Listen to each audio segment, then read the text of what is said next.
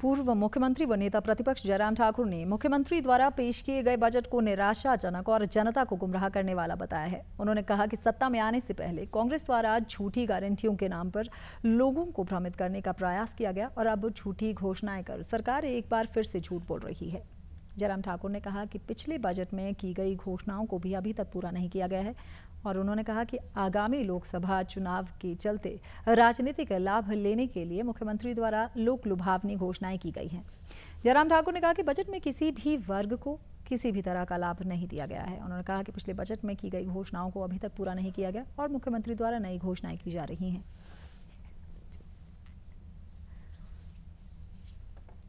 सत्ता में आने से पहले झूठ बोला झूठी गारंटियाँ दे करके, गारंटी पूरी नहीं हुई।